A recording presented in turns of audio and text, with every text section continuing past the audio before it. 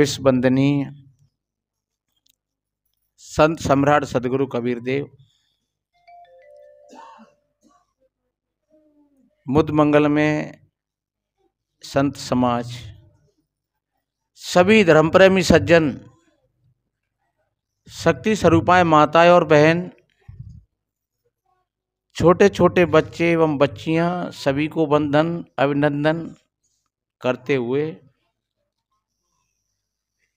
आज जो कुछ सेवा है,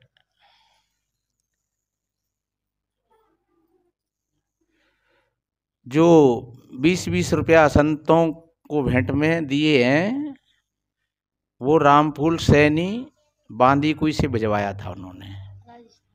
हाँ राजस्थान से। एक हज़ार रुपया, बोले महाराज, कुछ संतों की सेवा कर देना, कुछ भंडारे में ले लेना। तो एक हज़ार रुपया रामफूल, सैनी बांदी कोई राजस्थान से। और ग्यारह सौ रुपया हमारे कैलाश चंद मुरार वाले पाँच सौ रुपया हीरालाल जी दहेरी, जो मणिया धौलपुर में ही है। और ग्यारह सौ रुपया मनोज कुमार, जो गोकुलपुरा, पोरसा, मध्य प्रदेश जिला मुरैना लगता है। और पाँच सौ रुपया भैया को ये अभी इंदल सिंह, जो नंदपुरा राजा खेड़ा के पास में है, इन दानवीरों के लिए सदगुरु संतों की तरफ़ से कोट कोट साधुवाद, धन्यवाद। वास्तव में जो भाई बहन सुनते हैं, कुछ अच्छा लगता है तो वो सेवा करते हैं। सोचते हैं कि चलो तमाम पैसा खर्च होता है। कोई आदमी अगर गुटका खा जाता है तो पचास रुपये के गुटका खा लेता है। अगर कोई साधु की बात लग गई और उसने छोड़ दिया उन गुटकाओं को तो पंद्रह सौ की फ़ायदा भाई। वो तो शरीर की भाई, पैसों की भाई। लेकिन शरीर की फ़ायदा की तो हम कीमत ही नहीं बता सकते हैं कि शरीर की फ़ायदा कितनी भाई। क्योंकि इन व्यसनों से जीवन में नाना तरह की बीमारियाँ और नाना तरह की विकृति पैदा होती हैं समाज में। तो सोचते हैं कि चलो, कुछ सेवा में भिजवा दो संतों की में। और अच्छी बात है, वही संत दान फलित होता है। कोई भैया शराब पीता है, आज कितनी बहनें, बेचारी परेशान हैं, बच्चे परेशान हैं, लोग शराब पीते हैं। और चाहे, घर के मरे, चाहे बच्चा मरे आदस के मजबूरन और वो जाकर के पी जाते हैं। उतना कमा नहीं पाते हैं तो फिर किसी और से लड़ कर के भिर कर के पत्नी के गहने गुड़िया, बच्चों की चीज़ों को बेच बेच करके और शराब पी जाते हैं। और आदत ऐसी होती है। इसलिए मेरे भाई बहनों बड़े सौभाग्य की बात है कि संतों की बात किसी की ठीक समझ में आ जाए। चाहे वो व्यसन बीड़ी हो, सिगरेट हो, तंबाकू हो गुटका हो, गोंडमोर हो, मांस हो, शराब हो, कोई भी व्यसन है अगर हमारे अंदर में तो समझ लो कि हम चाहे ज्ञान की बातें कितनी भी ऊँची नीची करें, लेकिन हम एक छोटी सी चीज़ को अगर नहीं छोड़ पाते हैं तो हम उस ज्ञान के अधिकारी भी नहीं हैं। ज्ञान का वही अधिकारी होता है। जैसे कोई पात्र होता है, बढ़िया अच्छा। तो कोई दूध और घी भोजन की चीज़ें अच्छे पात्र में ही रखी जाती हैं।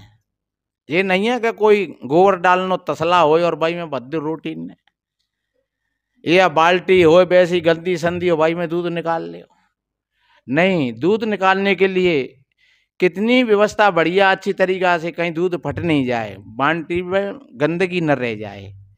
जिस पात्र में उसको गर्म किया जाता है, उसको कितनी बढ़िया अच्छी तरीका से माताएँ धोती हैं, बहन धोती हैं। और भोजन बनाते हैं तो कितनी शुद्धताई और पवित्रताई के साथ बनाते हैं। तो कोई भी चीज़ है, भोजन पाने की, खाने की, उनके लिए शुद्ध पात्रों की आवश्यकता होती है। जितना शुद्ध पात्र होगा, बढ़िया उतनी उसमें वो चीज़ें अच्छी रहेंगी। अगर गंदा पात्र होगा तो वो चीज़ें भी खराब हो जाएँगी। इसलिए हमको अपने हृदय को भी शुद्ध बना लेना चाहिए अच्छा बना लेना चाहिए, पवित्र बना लेना चाहिए।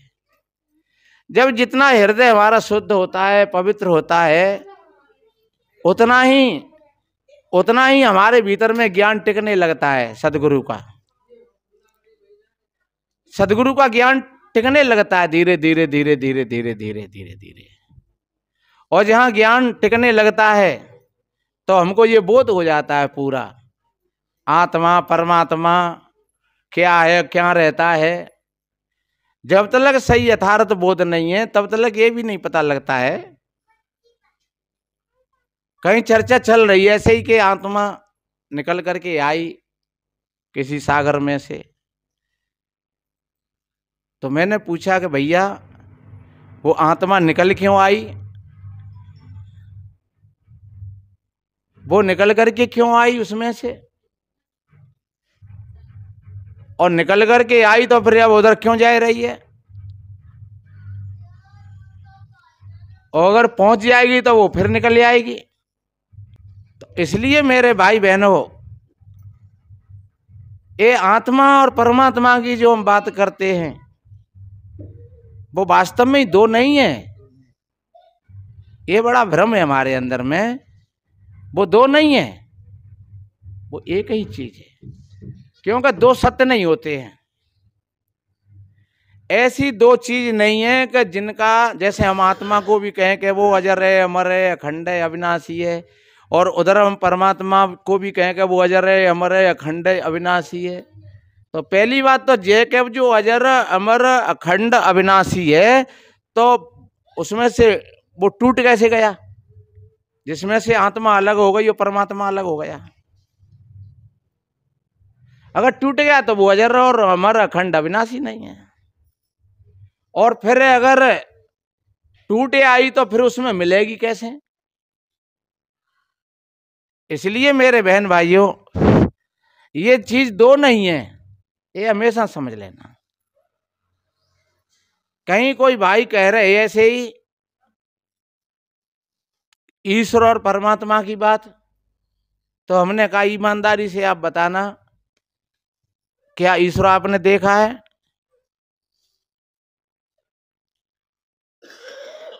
कि उसको देखा नहीं जाता है, वो निराकार है। तो निराकार है तो फिर तुमको पता कैसे लगा? जब वो उसका कोई रूप नहीं है, उसका कोई रंग नहीं है तो फिर उसका पता कैसे लगा आपको? इसलिए जे हमारी अनुमान और कल्पना की बात है। ये बात सही है कि हमें अपने आप को समझ लेना चाहिए कि जो ये ज्ञान की धारा फूट रही है, ये कहाँ से फूट रही है। सारी चीज़ों का बोध हमको हो रहा है तो कहाँ से हो रहा है? जब तुम उस जगह पर पहुँच जाओगे तो फिर तुम ही हो।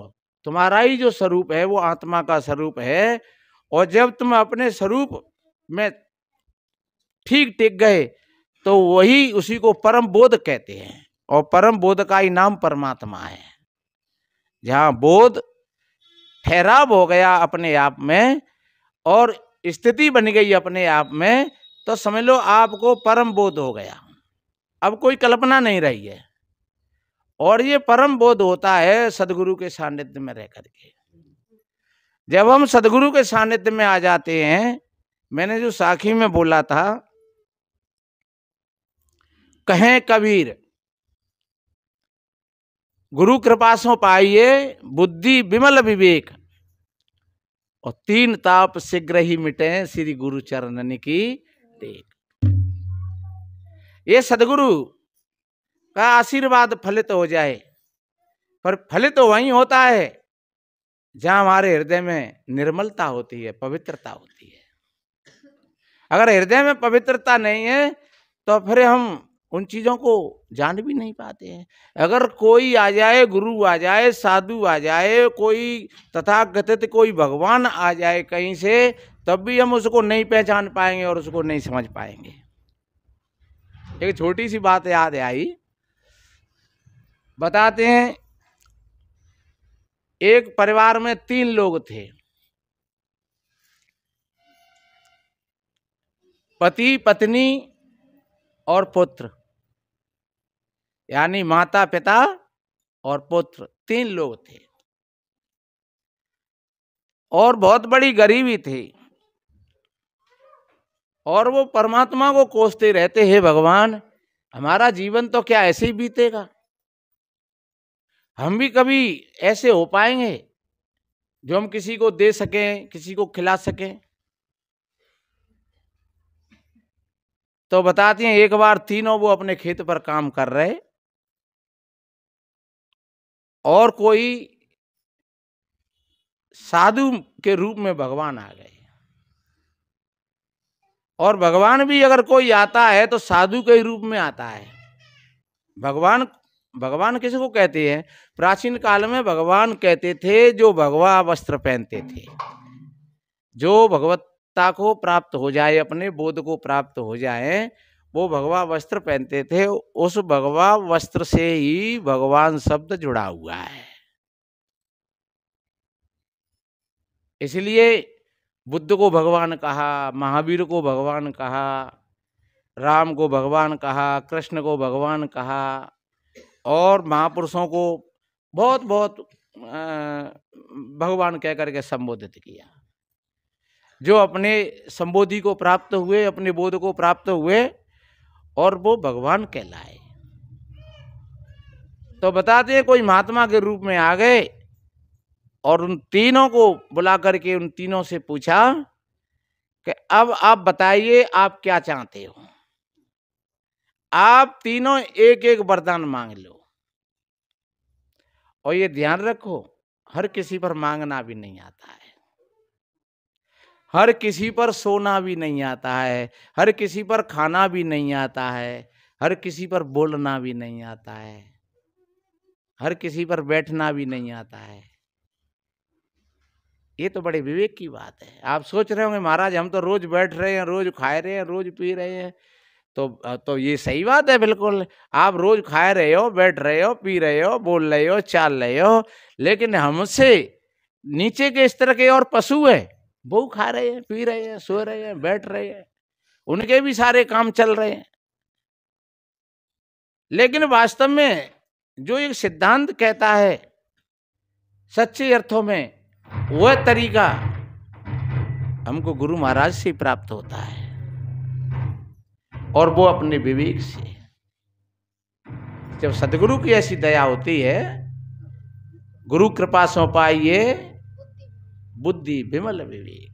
और तीन ताप से ग्रही मिटे श्री गुरु चरण की टेक। उन्होंने कहा कि तो मांग लो।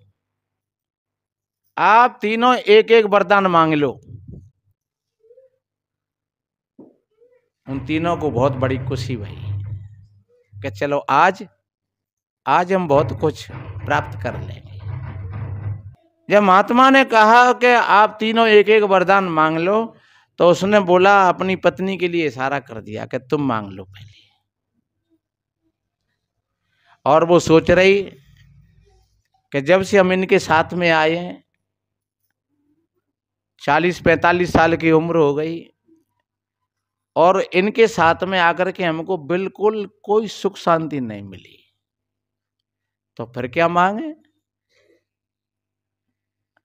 तो फिर से हम क्यों नहीं एक बढ़िया सुंदर रूप मांग लें और नई अवस्था मांग लें? उन्होंने कहा कि तो भगवान, अगर आप देना चाहते हो तो मुझे सोलह अठारह साल की एक बहुत सुंदर कन्या बना दो। उन्होंने कहा, ऐ मस्त जाओ ऐसा ही। अब कहाँ किसान की पचास साल की उम्र और कहाँ वो सोलह अठारह साल की लड़की? और वो सोचने लगा कि ये तो मज़े ही बिगड़ गया पूरा। ये क्या मांग बैठी? जो मांगना था वो तो मांगा ही नहीं। तब तक बताते हैं, कोई राजा उधर से शिकार खेलते हुए आ रहे और उस लड़की को देख करके और उनके मन में भावनाएँ कुछ ऐसी पैदा हो गई। कहने लगा, भाई, ये लड़की कोई खेतों में काम करने लायक है? ये तो मेले महलों में रहने लायक कोई राजकुमारी है और आप इसको ले आए हो। आप चलोगी महलों में? और उसने नारी हिला दी। राजा ने हाथ पकड़ करके उसको बिठा लिया घोड़ा पर और लेकर के चलता हुआ। और वो बेचारा देखता रह गया किसान। अब महात्मा ने कहा कि भैया, अब तुम भी मांग लो। बोले, महाराज, अब क्या मांगे? वो तो मज़ा ही खराब हो गया, सब पूरा का पूरा। पर महाराज, जो घोड़ा पर बैठ करके गई है, ये सुंदर राजकुमारी बन के, ये सुअरिया बन जाए। ये हमारे अंदर का प्रतिशोध है, जब ईर्षा हो जाती है हाँ तो फिर चाहे अपनों काम बिगड़ जाए, पर अब हम सुवन देंगे तो वह नहीं लेते महाराज, जो घोड़ा पर बैठ गए, कहिए वो सुअरिया बन जाए, उन्होंने कहा एवं मस्त जाओ, ऐसा ही हुआ। अब जैसे राजा ने देखा तो पहले तो वो इंसान के, लड़की के हाथ थे, और अब वो काले काले सुअरिया के पंजे, पीछे को घूम करके देखा तो सुअरिया तो उसने मारा, धक्का, सु नीचे गिरी। ये कोई जादूगर नहीं है क्या? अभी तो एक राजकुमारी के रूप में थी और अब ये सुअरिया बन गई। धक्का मारा तो अब। कहते नहीं कि न इधर के रहे, ना इधर के। न खुदाई मिला, न विशाले सनम, ना इधर के रहे। अब तो बेचारी भटक गई बीच में। राजा भी नहीं ले गया। अब लौट करके कैसे जाए? पर अब जाए तो फिर जाए भी कहाँ? अब अपने मुँह लटकाए और जाकर के पहुँची वहीं पर।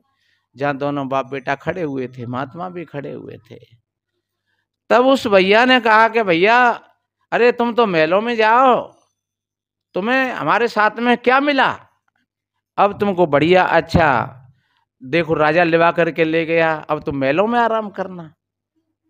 अब बेचारी शर्म के मारे अपने मुँह लटकाए खड़ी है। महात्मा जी ने लड़का से कहा कि, बेटा, तुम भी मांग लो। एक वरदान और शेष बचा है। लड़का ने कही, महाराज, अब क्या मांगे? वो तो पहले से ही मामला बिगड़ गया।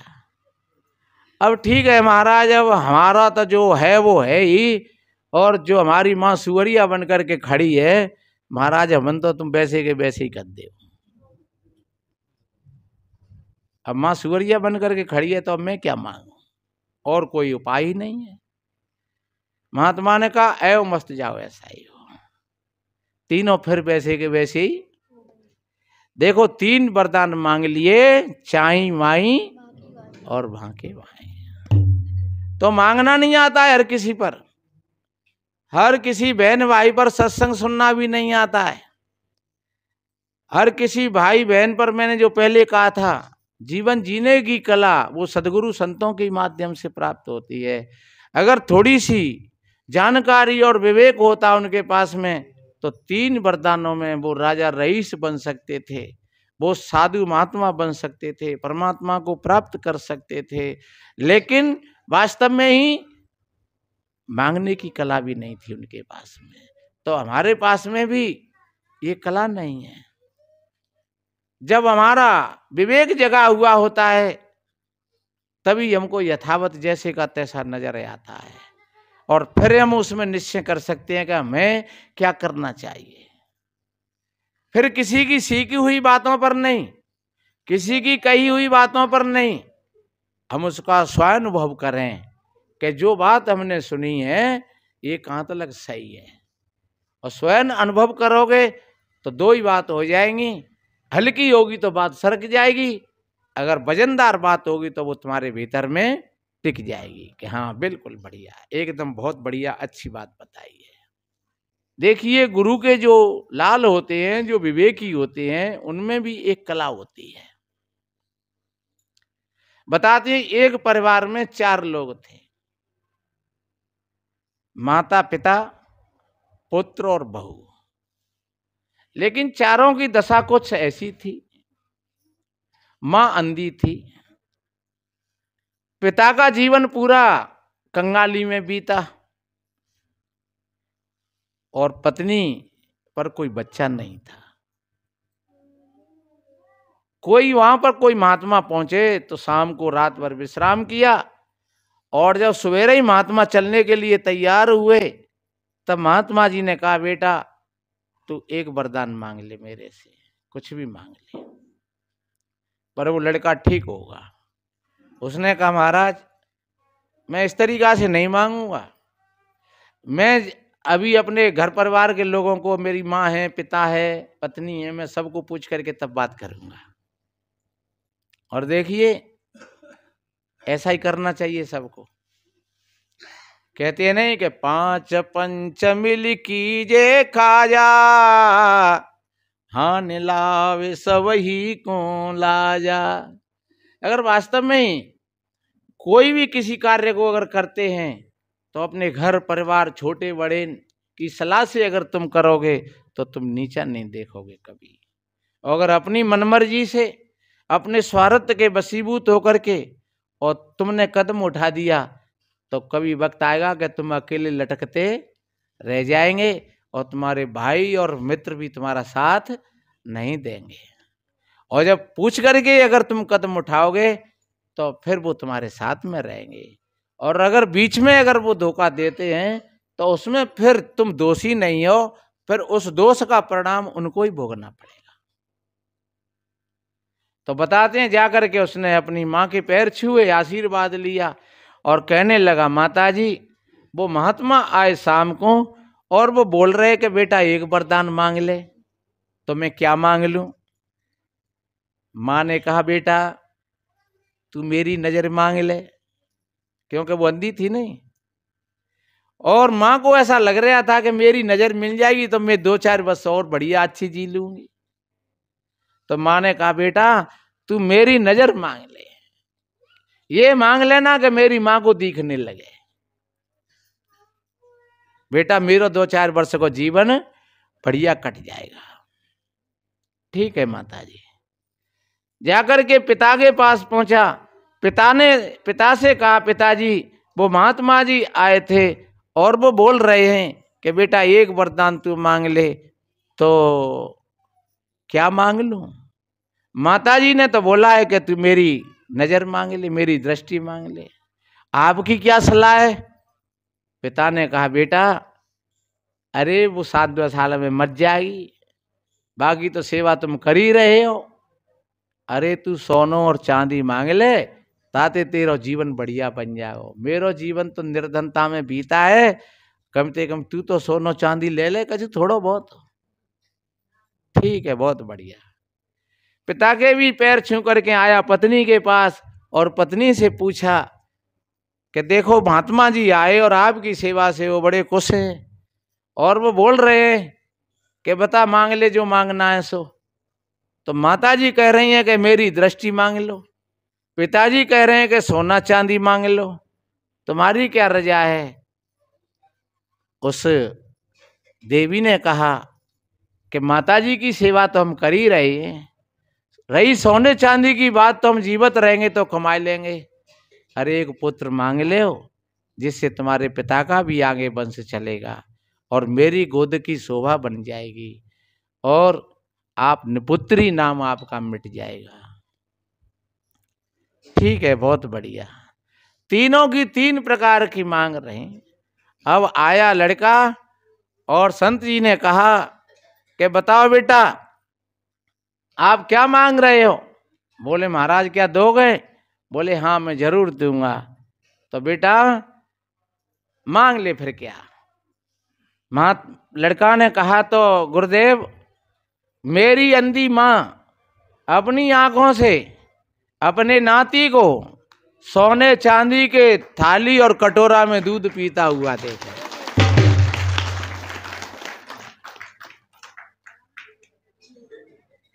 एक ही बाण में चार शिखार देखो, ये होता है विवेक। माँ को दृष्टि मिल गई, सोने चांदी के कटोरा, थाली, लोटा मिल गए और पत्नी को पुत्र मिल गया और दूध पीवे भैंसे और मिल गई। तो जहाँ जो विवेकी लोग होते हैं, वास्तव में ही वो इसी तरीका से वो अपना जीवन व्यवहार बढ़िया अच्छा जीते हैं। जीवन जीने की कला उनके पास में होती है। उनका परमार्थ बढ़िया बन जाता है अच्छा बन जाता है। समय समय पर दान धर्म भी करते हैं। दीन दुखियों की सेवा भी करते हैं। भूखों को भोजन, प्यासे को पानी, ज़रूरत के अनुसार तन से, मन से, धन से सेवा करके और सदगुरु के ज्ञान के माध्यम से अपने हृदय को निर्मल बना लेते हैं और फिर उनकी ध्यान साधना की विधि भी बन जाती है। वास्तव में ही और वो अपने परम तत्व को, अपने परम बोध को प्राप्त होकर के उसमें ठहराव उनका होने लगता है। और ये शक्ति पूरी की पूरी हमारे भीतर में है। जब आप देखोगे गहराई से, शाम को बैठ करके देखो, सवेरे बैठ करके देखो तो ये वाणी कहाँ से उठ करके आ रही है? ये सांस कौन की सत्ता से चल रही है? ये आँख कौन की सत्ता से देख रही है? ये कान कौन की सत्ता से सुन रहे हैं?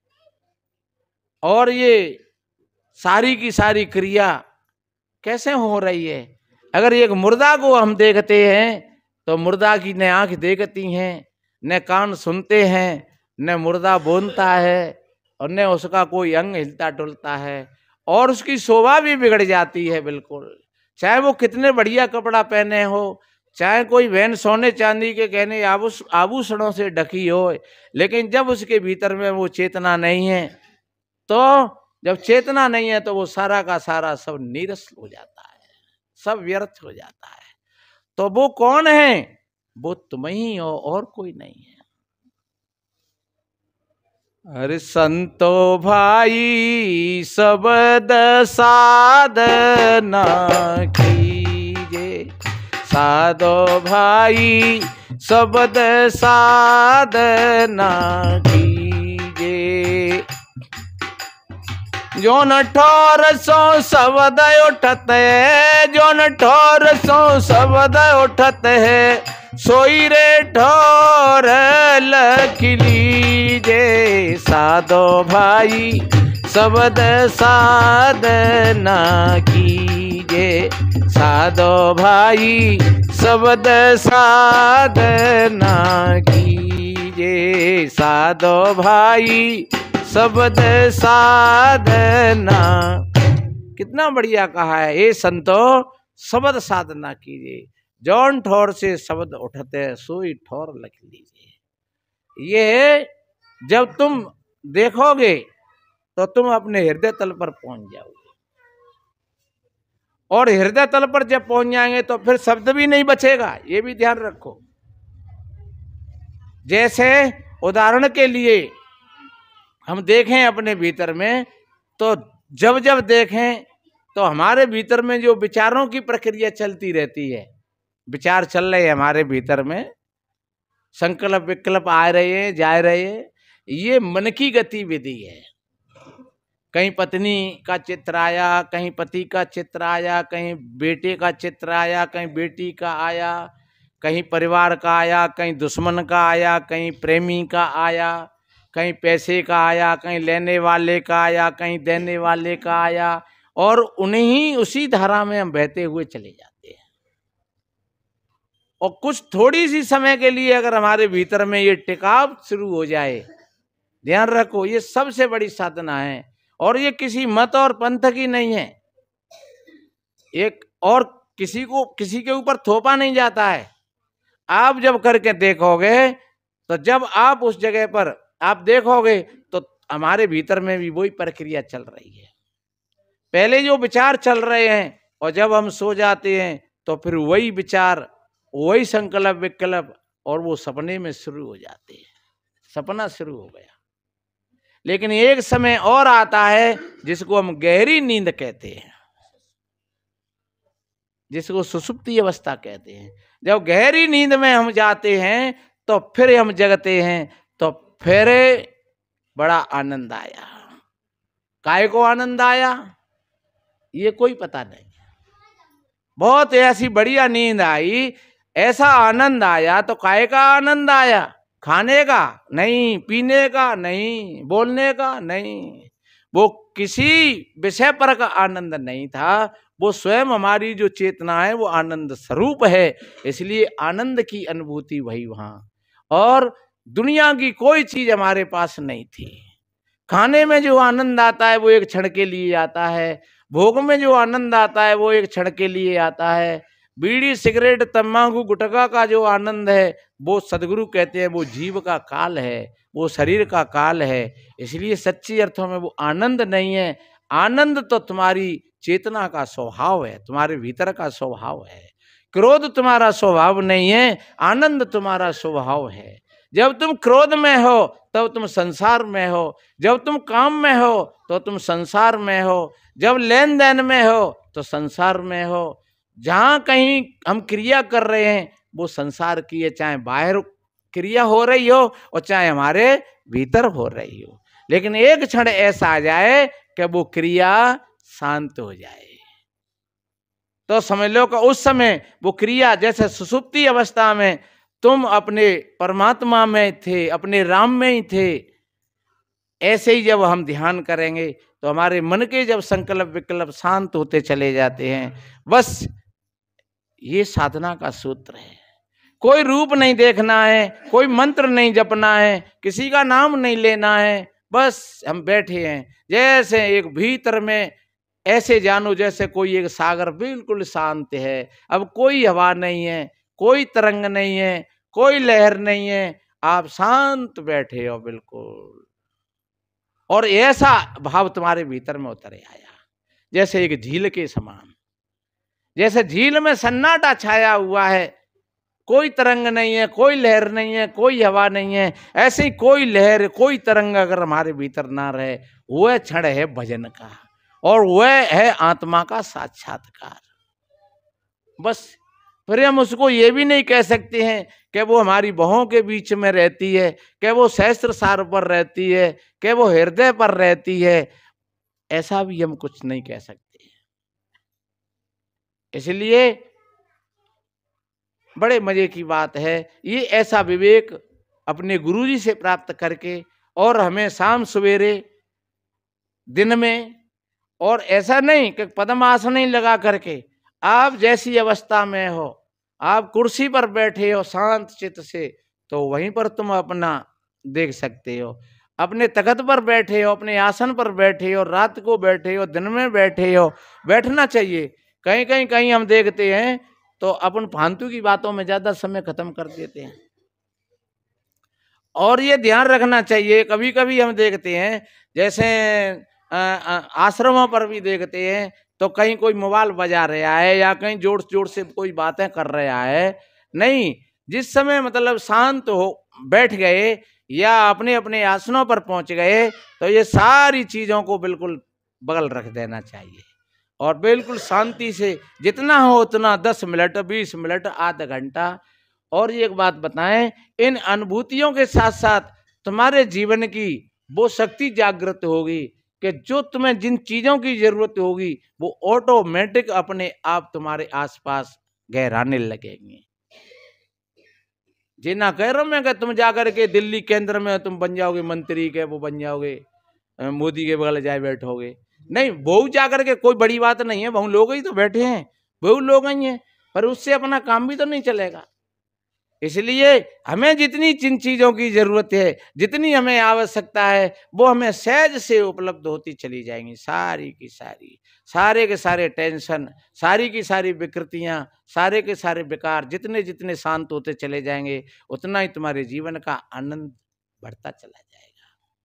तो इसलिए मैंने निवेदन किया, आप ऐसे सदगुरु संतों के सानिध्य में जाकर के एक छोटी छोटी दो कहानी बताएँ एक वो लोग थे कि तीन वरदानों में वो कुछ नहीं मांग पाए। एक वो आदमी था किसी गुरु का प्यारा कि एक ही वरदान में सारी की सारी चीज़ें और मांग ली। माँ की दृष्टि भी मांग ली और पुत्र भी मांग लिया और सोने चांदी के कटोरा और थाली भी ले ली और भैंस और ले ली दूध पी है? तो वो उसको कहते हैं विवेक।